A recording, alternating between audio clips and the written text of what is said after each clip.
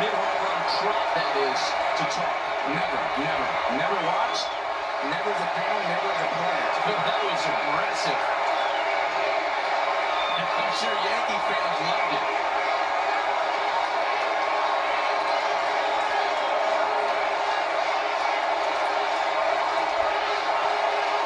We have a game, we have a series.